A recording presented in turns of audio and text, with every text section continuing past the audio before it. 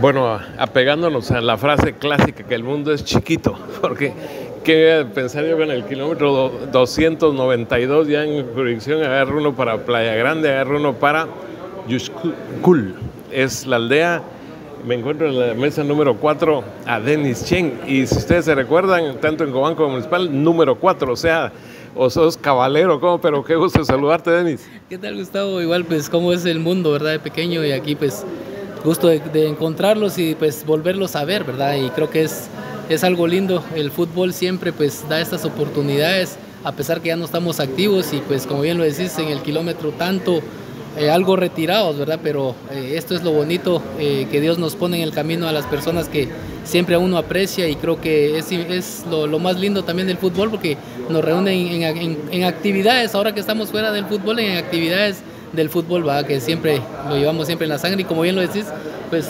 tampoco nos sentamos en la mesa número 4 porque era el número que yo usaba tanto en, municipal como en selección también y creo que pues acá estamos a la orden y gusto de, saludarlo y pues de encontrarnos con, viejos conocidos del fútbol.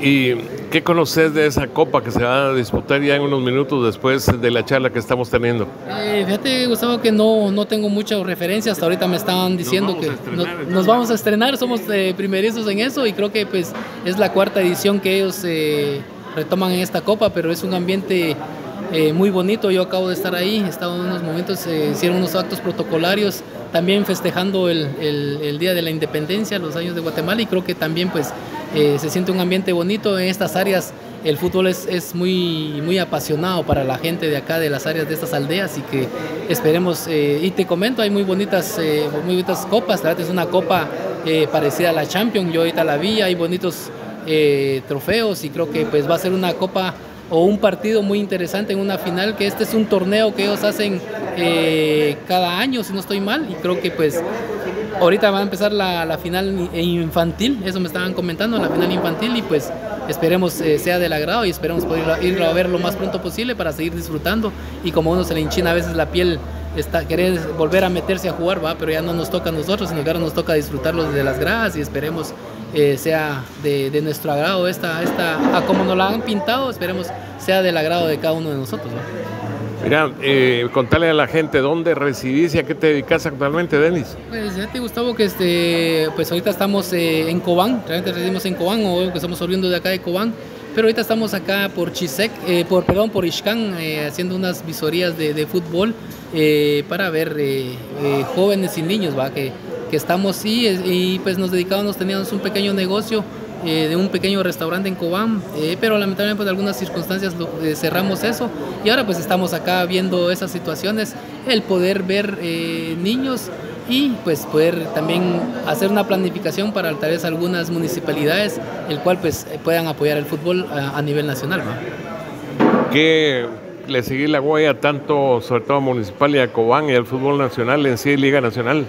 Sí, sí, hemos estado pendientes de, los equipos en los cuales militamos, ¿verdad? Como Cobán Imperial, eh, Municipal, Comunicaciones, eh, ahora pues que regresó Marquense a la Liga Mayor, va eh, a Malacatán, a todo, a cada uno de ellos, siempre seguimos la huella y pues esperemos nuestro fútbol vuelva a hacer, a retomar pues eh, el buen camino en el cual también nosotros estuvimos eh, militando en los equipos que, estábamos y pues ahora se ve un, juego más de conjunto, creo que un juego más de nosotros, nosotros éramos más verticales se podría decir a la hora de jugar, pero creo que... El juego directo. Exactamente, el juego directo lo decimos nosotros, entonces creo que ah, eh, pues ahora se ve un poquito más de, toque, más de, más de conjunto también. Y no digamos que nosotros no lo teníamos, ¿va? pero nosotros éramos más directo, como bien lo decías, y pues ahí estamos siguiendo el fútbol nacional. Y lo último, Denis, volviendo a reiterar que me eh, del mundo chico, por aquí estamos en el camino, nos juntamos. Eh, ¿Qué pensás de lo que has visto en selección? ¿Crees que se logre boleto al Mundial del 26? Pues siempre está eso, ¿verdad, Gustavo? De, quererlo hacer. Eh, han variado las, las formas de, de, competencia como nosotros participamos también, ¿verdad?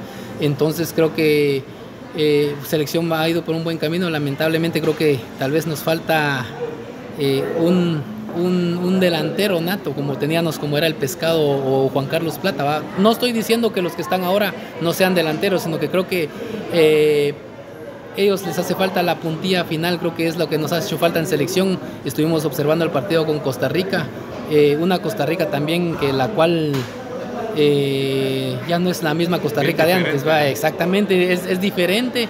Eh, se le puede ganar. Esperemos pues eh, el profe Tena pueda conseguir eh, o que los, nuestros delanteros lleguen finos en ese momento a esas etapas. Yo creo que eso es lo que nos está haciendo falta, pero una, una, selección que se, ha, que se ha conjuntado bastante bien con jugadores que, que, tienen experiencia y no digamos jugadores que están en el extranjero, que creo que eso es lo que nos hacía falta antes a nosotros tal vez, pero creo que los que participamos en selecciones o los que tuvimos la dicha de representar a Guatemala y defender los colores internacionalmente, tratar, lo tratamos de hacer de la mejor manera con rivales que también pues contaban, va a Costa Rica con, con Juan Chope, si te dabas cuenta, estaba eh, ajá, nuestro verdugo Rolando Fonseca, en, en Honduras estaba eh, en, Suazo, en, en, Panamá pues empezaba Penedo, empezaba eh, Baloy, todo ese grupo, porque también eran jugadores que destacaron a nivel internacional y creo que también nosotros tuvimos esa pequeña dicha de poder enfrentarlos y pues eh, hacer historia, ¿va? que estuvimos a un paso tal vez eh, antes de 2006 para ir a Alemania eh, por un repechaje que, lamentablemente pues ya sabemos la historia que pasó con, con México, pero bueno, creo que nos quedó esa satisfacción y esperemos hoy pues los muchachos que, que integren ahora la selección puedan, puedan lograr ese objetivo que tanto añoramos los guatemaltecos. Bueno, encantado de saludarte y que sea exitosa tu visoría, Denis. Sí, gracias Gustavo y pues realmente para mí es un placer volverlos a ver a usted y a José Antonio Corado, pues el, el, el conocer, el, estar nuevamente, el vernos un ratito, aunque sea de a grandes distancias, ¿va? pero creo que es lo que, le, como dice usted, ¿va? Son, el fútbol es hermoso y pues esperemos disfrutarlo y esperemos nos vaya bien a nosotros también.